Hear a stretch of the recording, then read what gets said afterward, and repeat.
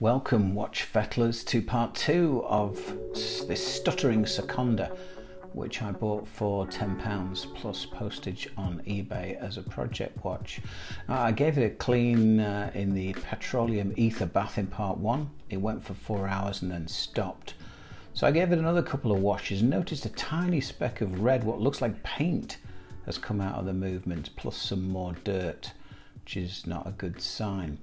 The other problem is there was a lot of resistance when I tried setting the hands and advancing the time.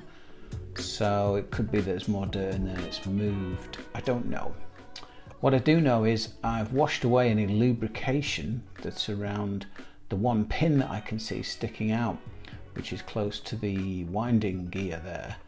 Uh, most watches have all the jewels capped. So there's one drop of oil fitted by the factory when it's brand new under that cap. But you can see here on that bridge there's the three jewels there. They're all capped so they'd have to come off. But this one I can put one drop two drops maybe of oil on there. Give it some time to settle in. And amazingly uh, the resistance in setting the hands largely disappeared. So I gave it a full wind and set it off against my Quartz Citizen.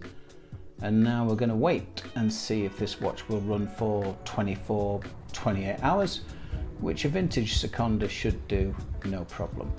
So stand by for part three. Thanks for watching. See you next time. Bye bye.